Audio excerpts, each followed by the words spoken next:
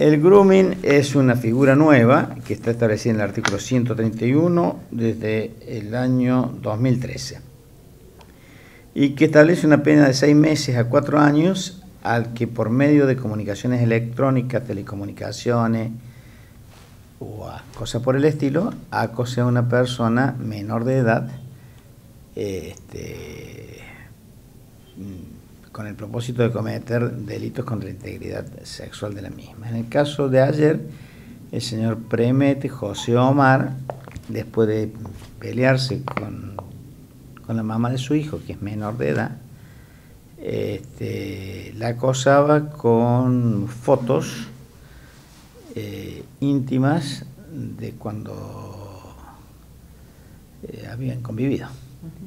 Entonces, ha sido condenado él por, por, una serie de delitos que no tienen una mayor entidad penal como desobediencia a la autoridad, este, producción, divulgación de imágenes pornográficas de menores de 18 años.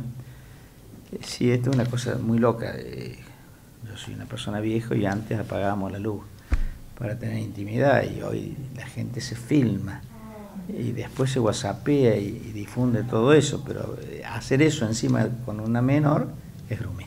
¿Él, él no era menor al momento de la relación? No, es, un chiquilín, pero porque ahora tiene 23 años, pero... ¿Qué edad tenían respectivamente cuando eran pareja?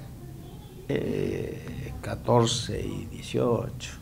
¿Es la primera vez que hay una condena de este tipo? Por grooming sí. ¿Cuál es la pena? La, pena que tiene la figura es de eh, seis meses a cuatro años. ¿Y a él cuánto le dieron? En definitiva le dimos tres años de prisión de cumplimiento efectivo. Él eh, amenazaba con revelar las fotos que le había sacado en la intimidad a cambio de dinero. Se las mandaba a la madre. Se las mandaba a la madre en esa, en esa cosa. Decía, mira lo que hace la nena